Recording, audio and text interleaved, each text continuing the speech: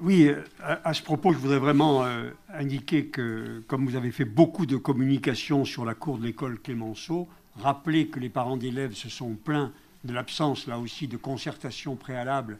dans les choix que vous avez effectués, et rappeler que cette, cette communication concerne 1549 mètres carrés de végétalisation pour une cour de 5000 mètres carrés. Et donc, euh, pour une seule, pour ces 1500 mètres carrés, on a eu droit à deux pages dans Libération, un reportage de ces news, alors que euh, on aurait l'impression qu'on combattait euh, les îlots de, chaleur dans le Grenoble et qu'on végétalisait la ville. Mais pendant ce temps, vous êtes contraint de réduire la cour de l'école Lucie Aubrac et d'y mettre une classe provisoire parce que vous êtes en retard sur l'école Marguerite Cohn de, Hoche et qu'il faut donc loger des élèves.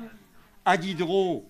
vous êtes obligé de supprimer, vous n'étiez pas obligé, mais vous le faites, de supprimer un terrain de sport pour créer, pour l'extension de l'école. Et donc, euh, euh, vous communiquez effectivement sur ces fameux 1500 mètres carrés de végétalisation de cours pour cacher ce que vous faites ailleurs ou ce que vous ne faites pas, qui est en fait euh, une, des îlots de chaleur qui, au contraire, progressent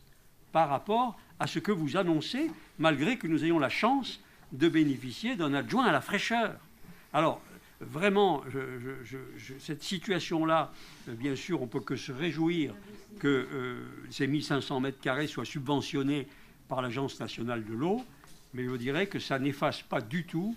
euh, ce qui se passe en réalité dans la ville dans ce domaine.